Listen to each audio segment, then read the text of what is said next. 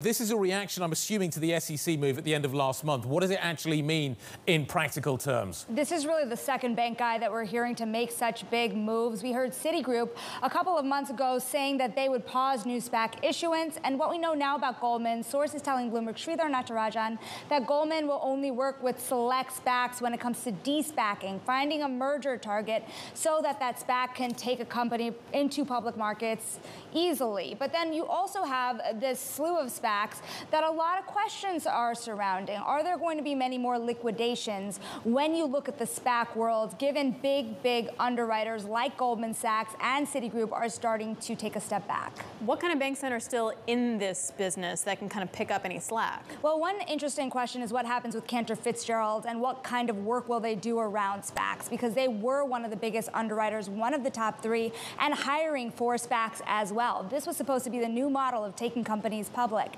But with the SEC yep. rules, the worry here is around forward guidance as well as conflict of interest. Will the rules change for any future SPACs as well as any prior SPACs? Will there any be repercussions around the disclosures around them? Sonali, what are the revenue implications?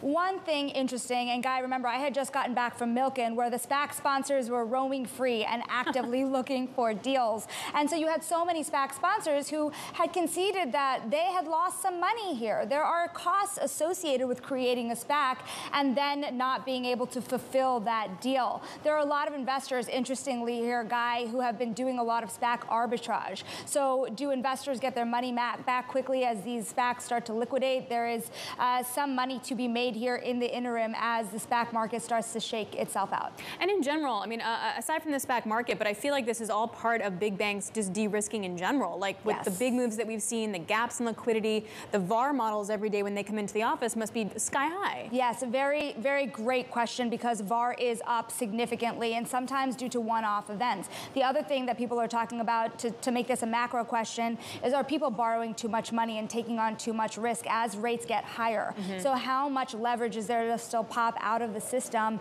We are hearing from a lot of big banks when they look at their clients they're taking on, the margin loans they're providing, as well as their big asset management businesses, where can they take some risk off the table here?